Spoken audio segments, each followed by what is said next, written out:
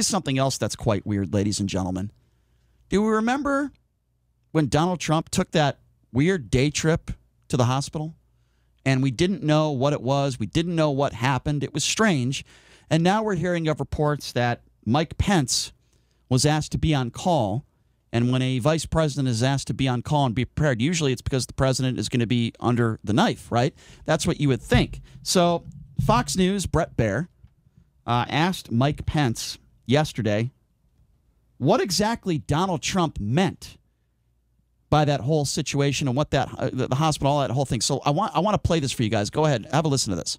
Uh, President Donald Trump is in excellent health, and uh, Bret, I'm always informed of the president's movements, and uh, uh, whether it was on that day or any other day, uh, I'm, I'm informed. But there was no there was nothing out of the ordinary about that moment or or that day, and I, I just refer any other questions to the White House physician. But as far as being on standby, I, I, don't I don't recall being told to be on standby. I I was informed that the president had a doctor's appointment, and uh, uh, I'm.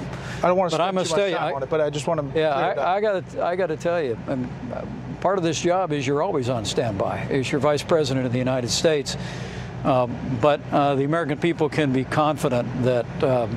Uh, this president uh, is in remarkable good health, and uh, uh, uh, every single day I see that energy in high relief. Okay, so let me respond to that real quickly, if I may. Uh, keep in mind, Mike Pence is the guy that you know preaches religion all the time, and you know he's one of those guys, right? I think it says something in the Bible about lying. I'm pretty sure it says something. Whoever your God is, whoever you pray to, you probably shouldn't lie. Certainly not to your wife, not to your friends, maybe not to millions and millions of people across the country.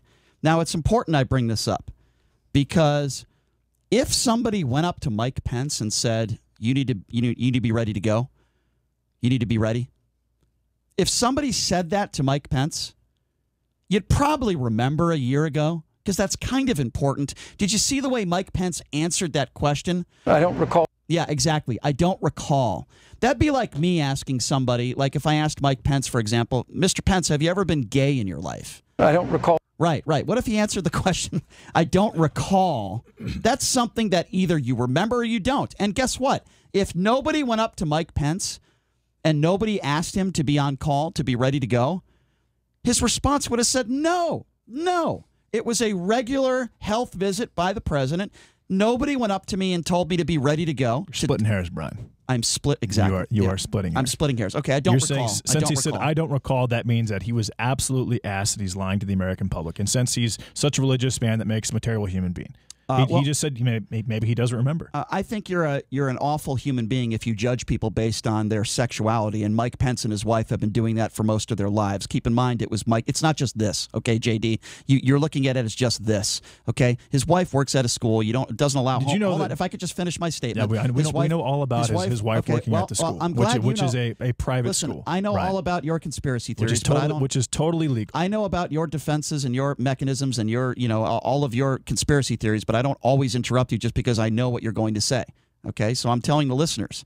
Mike Pence's wife works at a school that does not allow you to be a homosexual to go to school there or to work there. I think you're a horrible human being if you work in a school like that. I do. I think the Pences are absolutely two faced. And by the way, a year ago, if the president was under the knife and somebody went up to Mike Pence as the vice president in his career in the White House and said, Mr. Vice President, when you're going to need you ready to go, you're going to have to be ready to take over.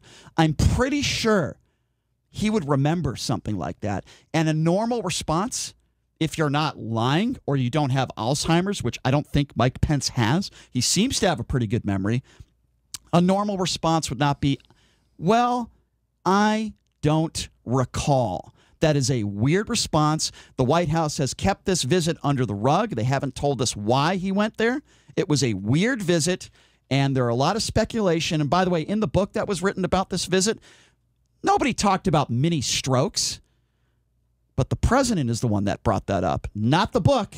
Nobody brought that up in the and, book. And why did he bring it up, Brian? What did he say after that? There were rumors. He no, he said that another candidate. You may be talking about a candidate from another party when he's talking about Joe Biden. I th- so what it, does that mean? That means that Donald Trump might know that Joe Biden actually had a stroke. Oh, is that what you think? Is, is that Yeah, your theory that's- now? That, it's, what means is that my theory? Brian, Joe Biden read the top of a teleprompter yesterday talking about Venezuela. If Joe Biden, Oh, if, if, if someone on the teleprompter said You're Joe, getting worse and worse, if, man. if it said. I, Joe Biden, am a, am a Republican, and I love Donald Trump. He would read it at this so, point. so, so this is all about Joe Biden. Okay, I got you. Thank you for spinning that. That was awesome. All right.